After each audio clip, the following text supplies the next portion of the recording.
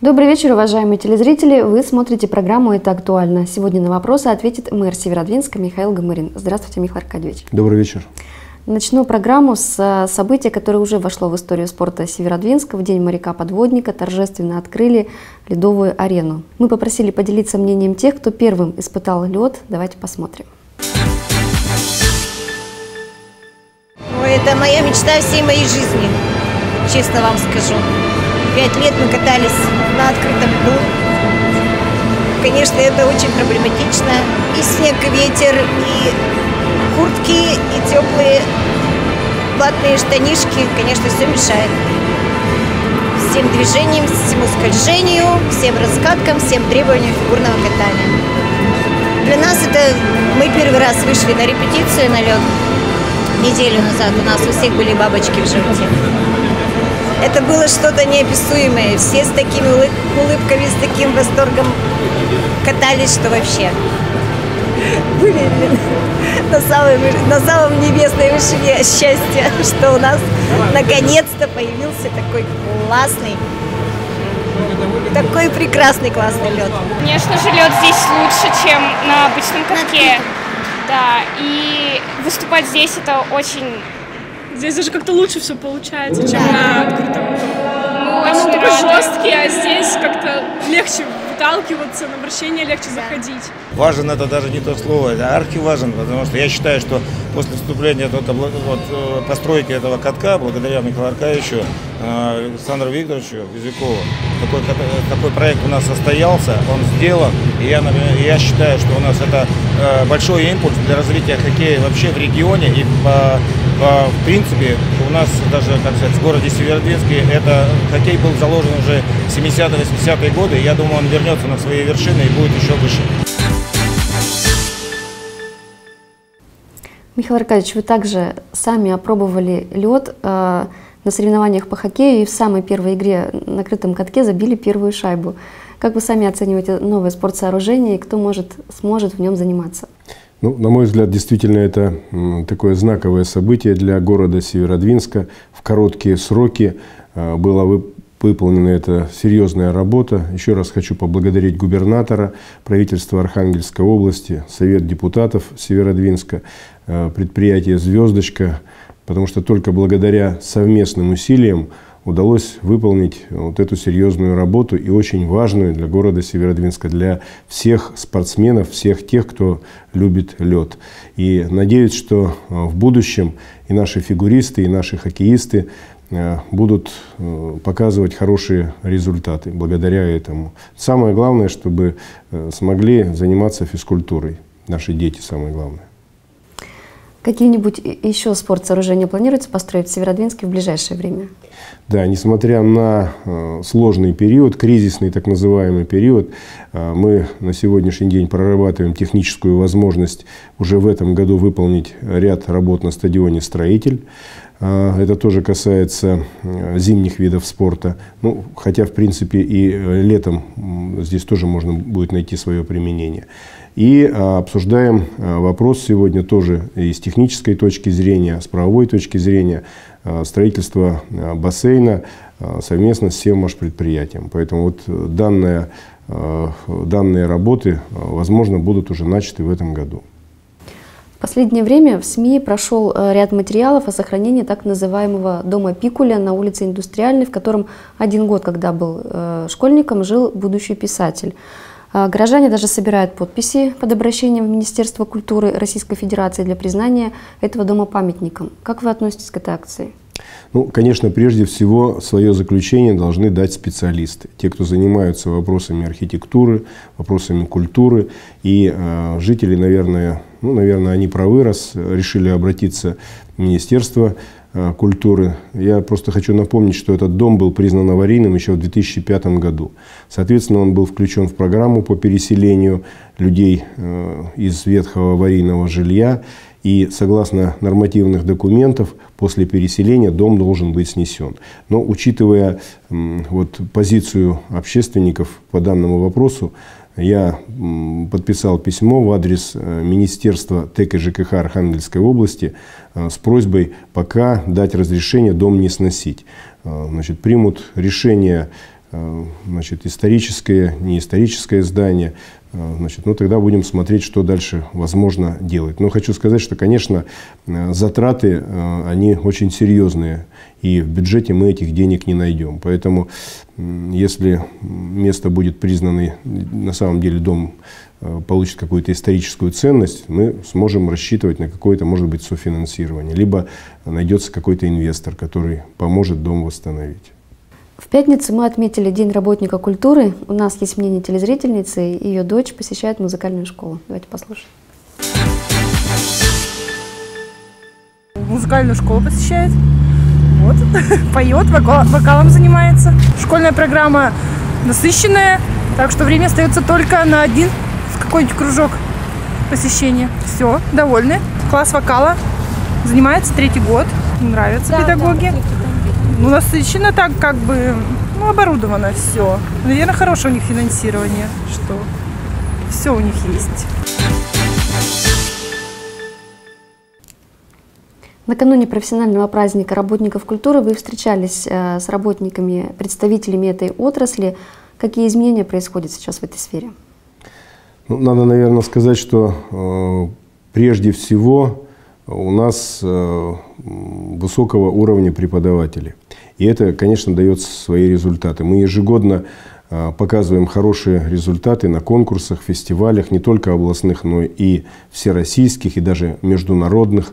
То, что сегодня школы э, получают возможность э, использовать оборудование современное и новые музыкальные инструменты – мы пытаемся проводить и ремонты, решать вопросы по заработной плате. Хотя, безусловно, еще проблем очень много.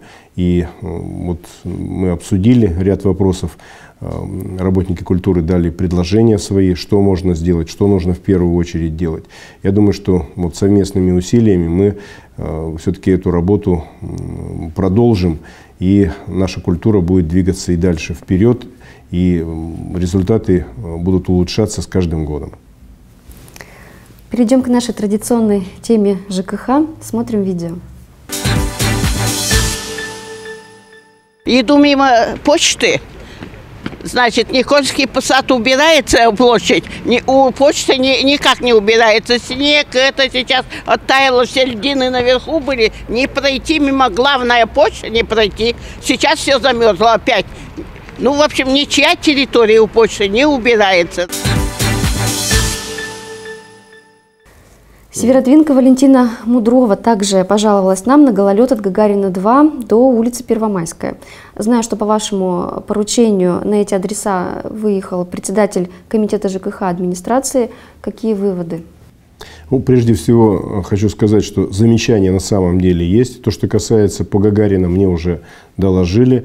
Но по каждому замечанию, практически по каждому замечанию, которое сегодня поступает в комитет ЖКХ, либо в управляющую компанию, должна проводиться э, выездная проверка.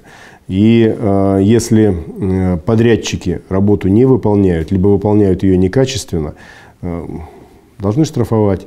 Поэтому я благодарен телезрителям за то, что они эти вопросы озвучивают и э, все это ведет к тому, что мы просто будем в городе наводить порядок в этом плане.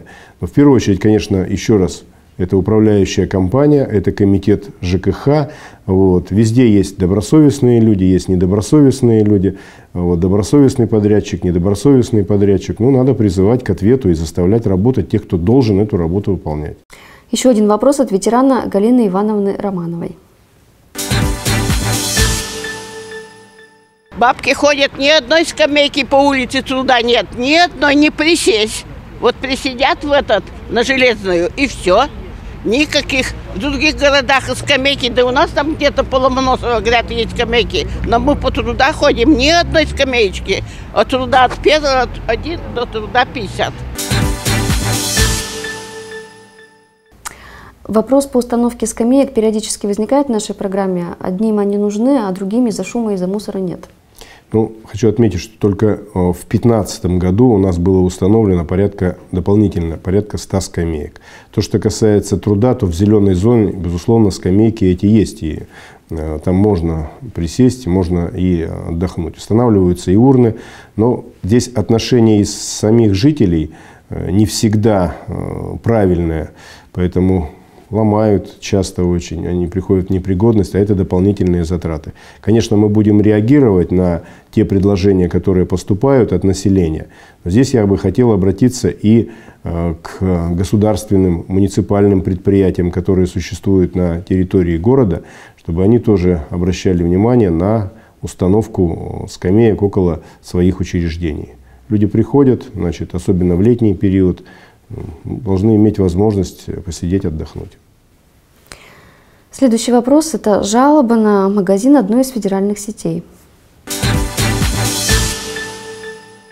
От имени жильцов дома э, просим оградить, э, заставить, или как это, ну заставить оградить э, руководство магнита магазина территорию, хозяйственную территорию, так как от них все неудобства, много неудобств. Грязь и прочее, прочее. Машины разгружаются, ну, весь вид портит дворовой.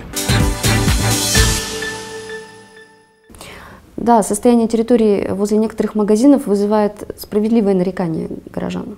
Да, я согласен. Особенно это касается э, федеральных сетей, в частности «Магнита». Э, по многим фактам, э, которые указывают сегодня наши горожане, мы разбираемся, пытаемся э, данные вопросы решить. К сожалению, не все вопросы возможно на сегодняшний день решить, так как они не урегулированы нормативными актами. Но по данному конкретному случаю попробуем также тоже поразбираться. Но я думаю, что мы, наверное, пригласим руководителя Э, всей федеральной сети «Магнит», которая находится у нас на территории Северодвинска, Архангельской области, для того, чтобы ну, попытаться обсудить данный вопрос. Если они работают на территории города, то они, безусловно, должны соблюдать и э, те правила и нормы, э, которые сегодня установлены. Я знаю, что очень много жалоб на то, что оставляют свои контейнеры, э, на то, что э, площадку Э, захламили в той или иной части города. Вопросы эти есть, поэтому будем разбираться. Следующий вопрос касается ремонта кровли конкретного дома. Проблема по крыше, потекла крыша. Э, четыре года тому назад ее делали. И делали так, что тут же через неделю повтор был, сделали, не сделали, но не было. Четыре года не текла крыша. В данный момент она потекла. Сейчас э, с Бойчука сказали Старостин, что надо собирать э, э, ну, подписи на сбор денег. Гарантия какая-то есть 4 года, делая столько, там тоже, вероятно, какие-то деньги были вложены уже в эту крышу. И сейчас опять собирать, и где гарантия, что через год, через два опять не потекет крыша. Вот это меня беспокоит. Мы запросили информацию в управляющей компании, и вот что нам сообщили. Дважды проводились общие собрания собственников по капитальному ремонту кровли и дважды принималось отрицательное решение. Управляющая компания ежегодно частично ремонтирует крышу, но этого хватает на 3-4 года. Очередной текущий ремонт запланирован при благоприятных погодных условиях на мае этого года. Но вот опять же здесь без э, участия собственников, к сожалению, данный вопрос не решить. Поэтому либо через программу сегодня капитального ремонта надо действовать, либо Э, проведение собрания и принятие решения собственниками, ну, либо придется обходиться текущим ремонтом. Поэтому ну, других вариантов, к сожалению, сегодня в данной ситуации нет.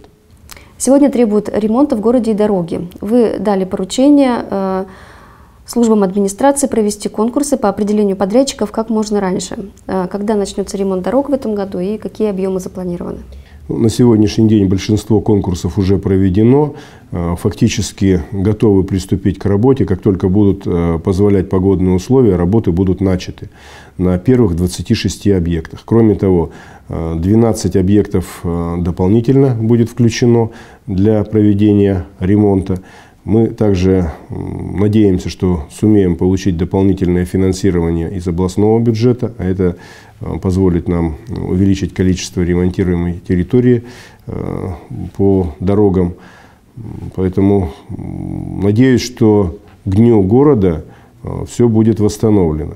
Конечно, дорожное покрытие сегодня одна из таких важных очень тем. И мы сегодня должны, безусловно, обращать внимание на качество выполняемых работ. И задача сегодня заместителю по городскому хозяйству поставлена, комитету ЖКХ, значит, при приемке работ э, значит, обращать внимание вот именно на качество выполнения работ.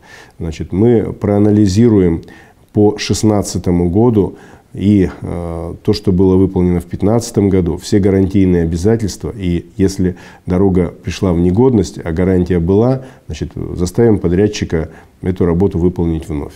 Поэтому контроль э, за выполнением ремонтных работ в этом году будет усилен. Ну и надеюсь, что к Дню города мы все приведем в порядок. Ну, вообще объемы ремонта дорог, школ зависят от наполняемости бюджета. А, кто на сегодняшний день наполняет городскую казну и какие перспективы у нас? Ну, основным э, вкладчиком в бюджет являются наши градообразующие предприятия. Это порядка 46% э, всех средств, которые поступают в бюджет. Э, следом идут муниципальные предприятия, бюджетные организации. Это порядка 32%. Около 15,5% это предприниматели, ну и э, небольшую долю все остальные, кто работает в городе. Поэтому вот это те составляющие, которыми сегодня мы руководствуемся при наполнении э, бюджета. Сегодня действительно мы оптимистично настроены. Э, наши градообразующие предприятия загружены работой. Мы видим, идет рост увеличения численности на предприятиях но, соответственно, будут расти и отчисления в бюджет, а это возможность э, увеличения работ на наших э, объектах бюджетных, это ремонт дорог, строительство жилья, значит, и все остальное. Поэтому с оптимизмом смотрим в будущее. Еще один вопрос по городскому хозяйству. Много говорилось о необходимости э, берега укрепления набережных для предотвращения их размыва. Как продвигается решение этого вопроса? Действительно, у нас есть два участка. Это э, на берегу реки Кудьма и э, на набережной Александра Федоровича Зрячего. Такие два проблемные участка. Заявка нами направлена в региональное правительство. Правительством Российской Федерации средства сегодня по берегу укреплению они выделяются. Поэтому надеюсь, что если не в этом, то в следующем году мы получим финансирование и э, вот эти работы будем проводить. Пока мы будем проводить работы такого поддерживающего характера э, для того, чтобы не допустить каких-либо таких сложных ситуаций. Ну, у нас есть еще два мнения. А, одно гостя города, а другое ветеран. Оба говорят о Северодвинске. Город очень хороший, чистый, люди добрые, вроде жизнерадостные. Значит, как бы губернатор, мэр города, то есть э, следит за городом. У меня вопрос мэру нет. Очень хорошо работает, стройка идет, все нормально. Это молодцы, это приятно слышать такие э, отзывы. Хотя, безусловно, вопросов э, и проблем у нас в городе еще очень много. Э, безусловно, важным направлением является строительство, переселение граждан из ветхого аварийного жилья. Сейчас мы строим три дома, и надеюсь, что в этом году мы их сумеем сдать. Э, кроме того, строится сегодня жилье и ведомств, ведомствами нашими, и коммерческое жилье – вот это такая главная составляющая. Да. Ну, надеюсь, те планы, которые у нас есть на 2016 год, э, в полном объеме будут реализованы.